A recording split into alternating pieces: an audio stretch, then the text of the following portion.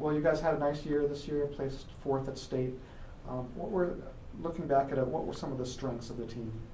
Um, our team definitely focused on defense this year, and we had the energy to press, so we were always in a full court press, and I think that was a big focus.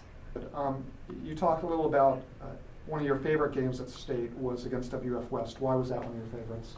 Um, we were down at half, and in the locker room, we knew we could win, so we just decided that we were going to come out and that we were going to take fourth and play as a team and finish strong. So that's what we did.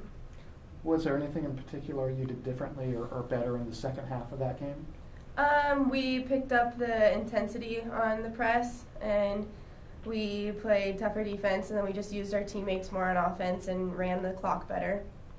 We're starting spring league, and we'll see what we have for next year, and it should be another good year. And I'm excited.